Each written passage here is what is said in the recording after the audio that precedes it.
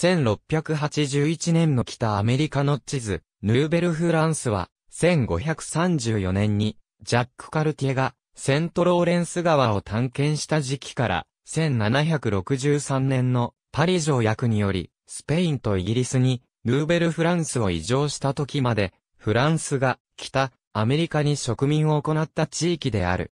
その頂点にあった1712年、領土は、東は、ニューファンドランド島から、西のロッキー山脈まで、北は、ハドソン湾から、南のメキシコ湾までに拡大した。この領土は、カナダ、アカディア、ハドソン湾、ニューファンドランド及び、ルイジアナの5植民地に分割され、それぞれに管理政体が置かれた。ユトレヒト条約の結果、本土のアカディア、ハドソン湾及びニューファンドランド植民地に対するフランスの領有権が消え、アカディアの後継地として、イルロワイヤルの植民地が設立された。1523年頃、イタリア人探検家、ジョバンニダ・ベラッツァーノが、フランス国王フランソワ一世を説得して、中国に至る西回りルートを見つけるための遠征隊を送ることを認めさせた。その年遅く、ベラッツァーノは53人を乗せた小さなキャラベル船でディエップから出港し、大西洋を渡った。翌年早くに、現在のカロライナの海岸を探検した後、海岸沿いに北に向かい、ニューヨーク湾のザナローズに停泊した。今日のニューヨークを発見した最初のヨーロッパ人として、元アングレーム伯爵だった国王にちなんでその地を、ヌーベル・アングレームと名付けた。ベラッツァーノの航海によって、国王は新しく発見した土地に植民地を作る気になった。ベラッツァーノは、スペイン領ヌエバ・エスパーニャとイングランドのニューファンドランドの間の土地に、フランチェスカとノバガリアという名前を付けた。サミュエル・ド・シャンプランが1612年に作成したヌーベル・フランスの地図1534年、ジャック・カルティエがガスペ半島に十字架を立て、この土地が国王フランソワ一世のものであることを宣言した。これがヌーベル・フランスの始まりになった。しかし、この地域への入植の試みは当初失敗した。その後は、フランスの漁業船体が大西洋岸からセントローレンス川への航海を続け、先住民との同盟を作っていった。これは、一旦フランスが土地を占有するようになると重要なことになった。フランスの商人は、ヨーロッパで希少になっていた貴重な毛皮動物、特にビーバーが、セントローレンス川地域では、豊富に取れることに気づいた。最後は、フランス国王がそこを植民地化し、アメリカにおける影響力を拡大する決断をした。北、アメリカでフランスが開拓地を作ろうとした別の試みは、1564年に現在のフロリダ州ジャクソンビルに設立したカロリーヌトリデだった。ここはユグノーにとっての停泊港とすべく、ルネグレーヌド・ロードニエールとジャン・リボーが指導して建設したしかしセントオーガスティンに開拓地を建設していた、スペインのペドロ・メネンデス・デ・アビレスが率いる部隊によって1565年9月20日に破壊された。当時のアカディアとカナダには、遊牧型アルゴンキン語族と定着型イロコイ族の先住民が住んでいた。これらの土地は未開発で貴重な天然資源が溢れており、ヨーロッパのすべての国にとって魅力的なものだった。1580年代までに、フランスの交易会社が設立され、毛皮を持ち帰るための要船が手配された。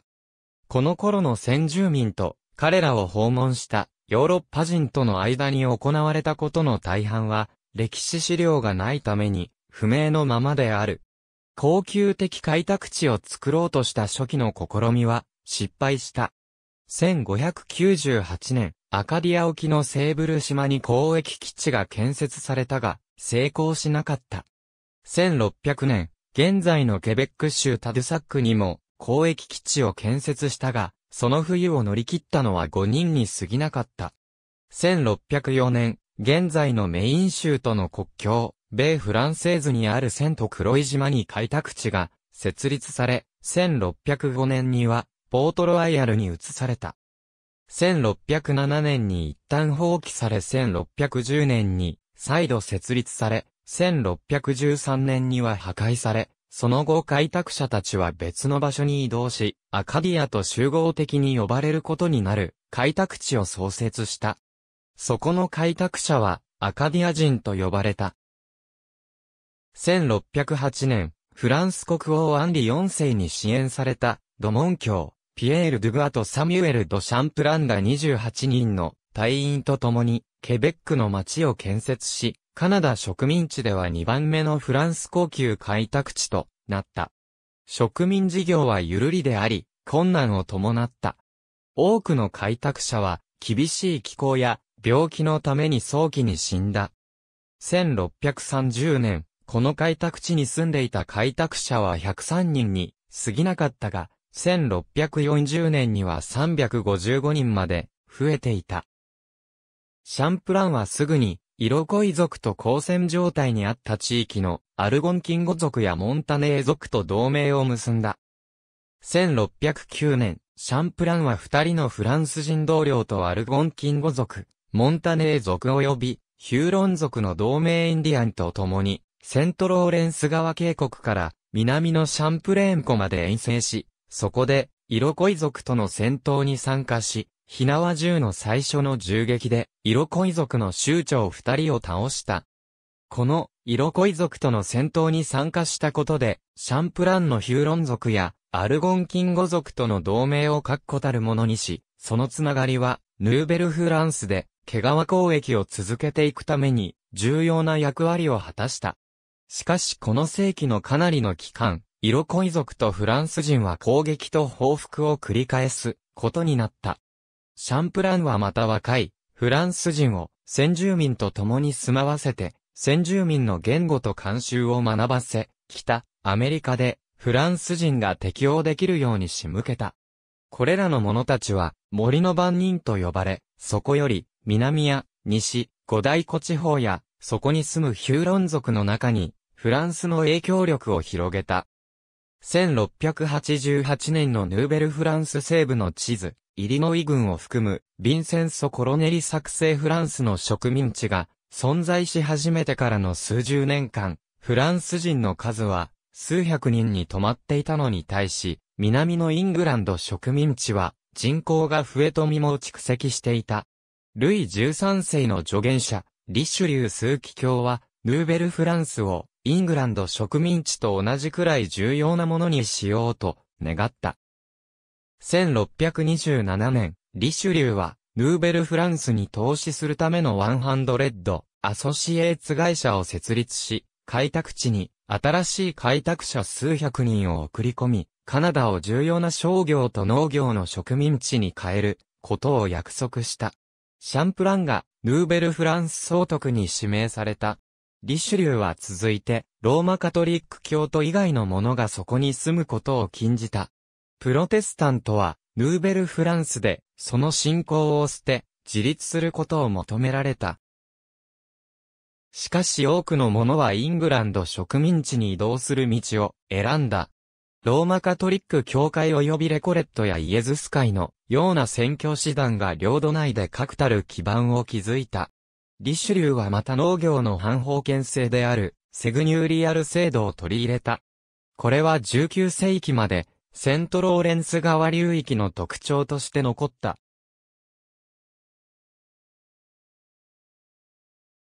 しかし、これと同じ時に、南のイングランド植民地から、セントローレンス川流域への襲撃が始まり、1629年には、ケベックそのものが占領されて1632年までイングランド支配が続いた。この年シャンプランはカナダに戻り、ラビオレット教にトロワリビエールで別の交易基地を建設するよう求めた。この基地は1634年に建設された。その後、シャンプランは1635年に死去した。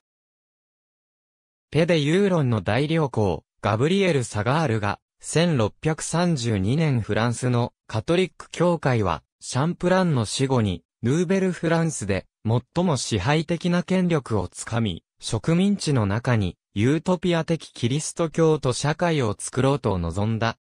1642年、ポール・ショムデード・メソヌーブが指導する開拓者集団を講演し、セントローレンス川のさらに上流、現在のモントリオールの前身であるビルマリーを建設させた。1640年代を通じて、イエズス海の宣教師が、五大湖地方に入り、ヒューロン族の多くを回収させた。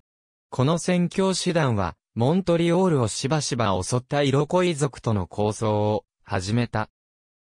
1649年までに、イエズス海の伝道書もヒューロン族の社会も、イロコイ族の侵略でほぼ完璧に破壊された。ヌーベルフランスの交通はいくつかの道路や運河を除いてほとんど整備されていない状況だった。運河があるとしても長さ3マイル程度であり、船は底が浅く単純なものだった。人々は特にセントローレンス川を主要な通路にし、カヌーを使った。冬には湖が凍ったので、貧しい者も止める者も、犬や馬に引かせたソリを使った。陸上の搬送システムは1830年代まで発展しなかった。その後川沿いに道路が作られた。離道運河が作られたのは1840年になってからだった。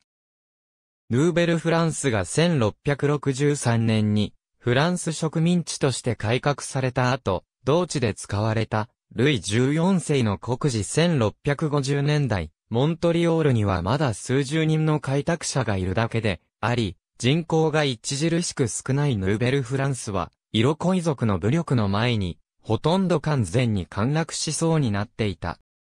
1660年、開拓者のアダム・ドラールでオルモーがカナダとヒューロンの民兵隊を率い、勢力の大きな、イロコイ族部隊に立ち向かった。カナダ人は誰も生き残れなかったが、イロコイ族の侵略を食い止めることには成功した。1663年、フランス国王ルイ14世がここを王室領としたことで、ヌーベルフランスはより確かなものに変わった。1665年、ルイ14世は、フランス軍の守備隊カリニャン、サリエール連隊をケベックに派遣した。植民地政府は、フランス本国の政府の線に沿って改革され、軍政府長官と監督官は、フランス海軍省の部下とされた。1665年、海軍大臣ジャンバティスト・コルベールが、初代監督官として、ジャンタロンを、ヌーベルフランスに派遣した。これらの改革で、シャンプランの死後巨大な権力を握ってきた、ケベック主教の権限を制限した。1665年から1666年にかけての冬に監督官、ジャンタロンの指揮下で、ヌーベルフランスの国勢調査が行われた。調査によれば人口は3215人と、わずか数十年前に比べて大きく増大したが、男女比は男性2034人に対し女性1181人と大きな開きがあった。これは、ヌーベルフランスにやってきた探検家、兵士、毛皮省、開拓者の多くが男性であったためである。ルイ14世は、ヌーベルフランスを強化することで、フランス植民地帝国の中心とするため、15歳から30歳までの独身女性700人以上を送り込むことを決定し、また同時に、先住民との結婚が奨励されるとともに、年季奉公者がヌーベルフランスに送られた。そのような、アンガジェの一人に、後のカナダ首相、ピエール・エリオット・トルドーの先祖であるエティエンヌ・トルドーが、いる。タロンはまた封建制度の改革を試み、領主には、実際にその土地に住むことを強制し、領地の大きさを制限し、新しい開拓者が使える土地を多く確保しようとした。この計画は、結局うまくいかなかった。開拓者はあまり増えず、タロンが創設した様々な産業も毛皮交易の重要性を超えることはなかった。ヘンリー・ハドソンがハドソン湾とその周辺の土地についてイングランドの領有権を主張して以来、イングランド人開拓者がフランスの保持するヌーベルフランスの向こう側、現在のカナダの北部にその領地を広げるようになった。1670年、フランス人、森の番人のピエールイコールエスプリラディソンとメダールで、グロセイユールの手助けにより、ハドソン湾会社が設立され、ハドソン湾に注ぐ川のある土地すべてでの毛皮交易を支配するようになった。このことで、カナダの毛皮交易について、フランスの独占が崩れた。これを補うためにフランスはその領土を、イギリス領13植民地の南と西に拡大した。1682年、ラサール卿、ルネロベール・カブリエが、オハイオ川とミシシッピ川渓谷を探検し、南はメキシコ湾にまで及ぶ広大な土地について、フランスの領有権を宣言した。ラサールはこの領土を国王ルイにちなんで、ルイジアナと名付けた。1685年には、新しい領土の中に、最初の植民地を作ろうとしたが、不正確な地図と船の航行に関する問題に悩まされた挙句、現在のテキサス州内にサンルイトリデという植民地を建設することになった。この植民地は病気とインディアンからの攻撃にあって1688年には消滅した。ヌーベルフランスのこの地域にはほとんど植民が進まなかったが、総督、ルイド・ブアド・ド・フロンテナックの命令によって多くの戦略的砦が築かれた。砦は、まだ入植が進んでいなかったヌーベルフランスの古い部分にも築かれた。これらの砦の多くには、1682年から1755年の間のヌーベルフランスでは、唯一の正規軍だった海兵隊が駐屯した。1689年、イングランドとイロコイ連邦がヌーベルフランスに対する大きな攻撃を始めた。これは長年両国の領内での小さな小競り合いが続いた後のものだった。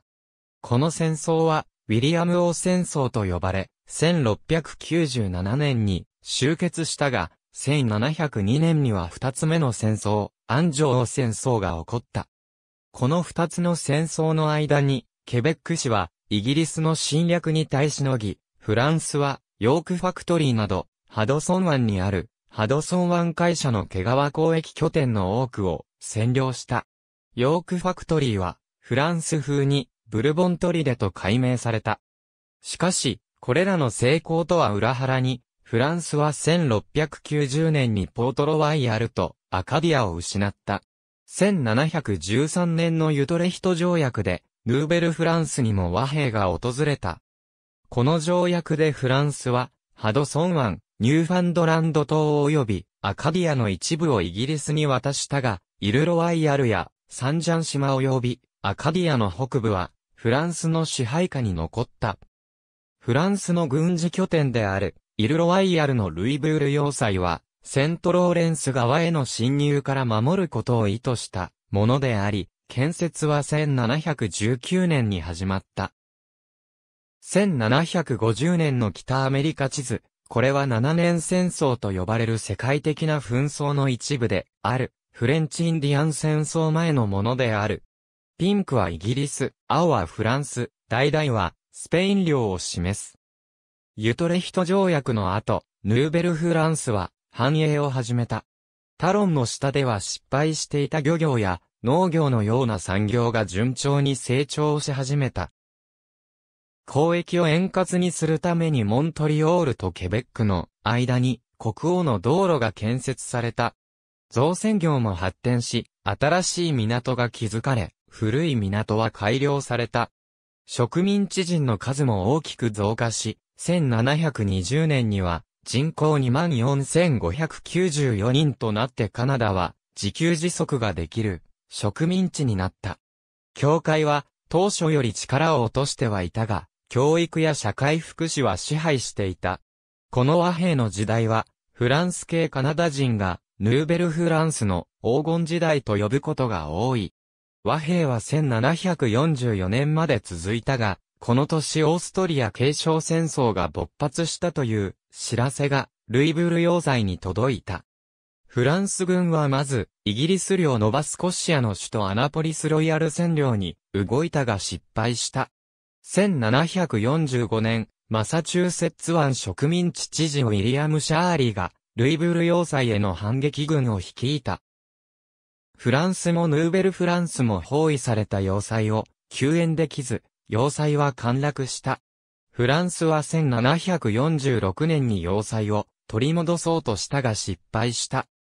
1748年のアイラ・シャペル条約で、要塞はフランスに戻され、植民地間の境界はすべて戦前の姿に戻されたが、この和平でもフランス、イギリス及びそれぞれの植民地間の長引く敵意を終わらせるものではなく、領地紛争を解決するものでもなかった。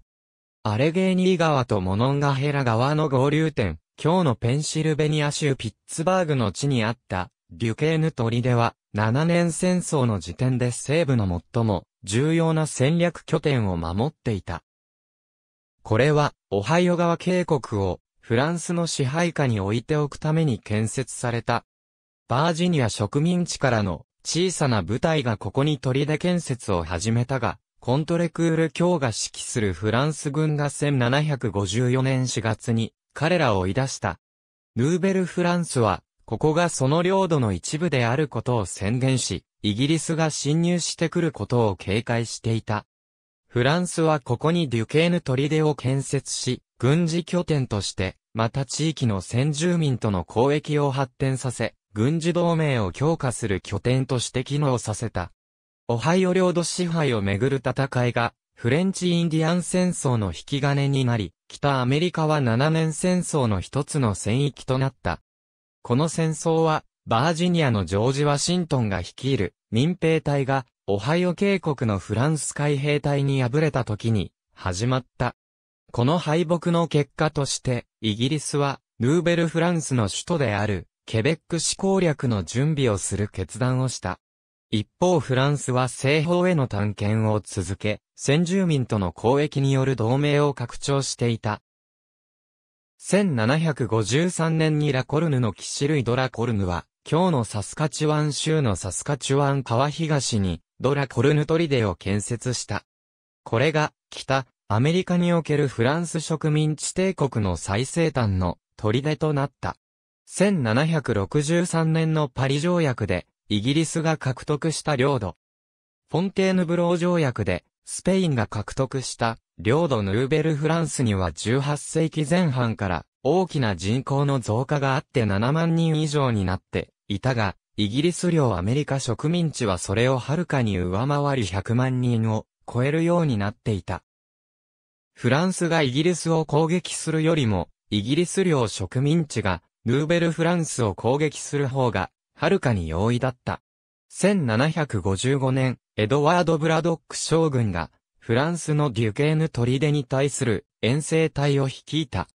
ブラドック隊は、フランスの民兵や同盟インディアンを合わせたよりも、勢力で勝っていたが、ブラドック隊が潰走し、ブラドックも戦死するという結果になった。1758年、イギリス軍が、再度ルイブール要塞を占領し、セントローレンス川の入り口を封鎖した。これが戦争の行方を決した。1759年、イギリス軍は川からケベックを包囲し、ジェームズ・ウルフ将軍が指揮する陸軍が9月のエイブラハム平原の戦いで、ルイ・ジョゼフ・ド・モンカルム将軍の指揮するフランス軍を破った。9月18日にケベック市の守備隊が降伏し、翌年にはモントリオール市が陥落して、ヌーベルフランスは完全にイギリスに征服されたが、フランスはカナダの陥落を認めようとはしなかった。ヌーベルフランス最後の軍政府長官、ボードレールカバにある公爵ピエール・フランソワ・ドリゴーは1760年9月8日に、イギリス軍のジェフリー・アマースト少将に降伏した。フランスは1763年2月10日に、調印されたパリ条約で、正式にカナダをイギリスに渡した。ヌーベルフランスの政治機構、1759年頃、ヌーベルフランスだったところでは、フランスの文化と宗教が支配的だったが、イギリス人開拓者が到着し、アッパーカナダとニューブランズウィックを創設することで変わっていった。ルイジアナ領土は7年戦争が終わってから、スペインの支配下に入り、アメリカ13植民地からの開拓者が入れないようになった。イギリスがフランスを破ってから12年後、イギリス領13植民地でアメリカ独立戦争が起こった。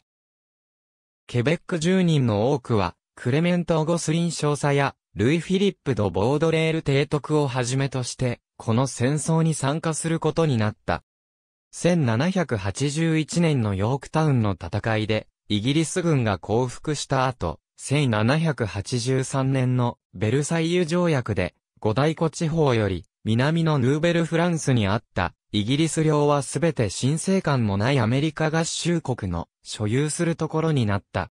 フランスとスペインの同盟条約によってルイジアナは1801年にフランスに返還され、ナポレオン・ボナパルトは1803年にそこをアメリカ合衆国に売却した。この売却によってフランス植民地帝国の北アメリカ大陸支配は終わった。ただしサンピエールミクロン島だけは、フランスの支配下に残り、今日も続いている。元、ヌーベルフランスで、イギリスの支配下に残った地域は1791年から1841年までは、アッパーカナダとローワーカナダ、1841年から1867年は、カナダ自治領として管理された。1867年、英領北アメリカ法が成立し、イギリス領北アメリカの大半に自治が認められ、フランス語を話す者の多いケベックはカナダ連邦、設立時の一州として設立された。イギリスの北米植民地が土地を開拓し農業を行うためにやってきた植民者が多かった農業植民地であったのに対し、フランスの北米植民地は先住民との毛皮交易が当初の目的であった。フランス人の支配は、交易路となる河川の線や交易所、宣教師の基地、軍事要塞など、点が中心であり、農地を広げ面的支配を行ったイギリス人とは異なった。フレンチ・インディアン戦争の時点で白人人口が100万を超えていたイギリス領に対しフランス領は白人人口が10万を超えておらず、戦力差は歴然となっていた。ありがとうございます。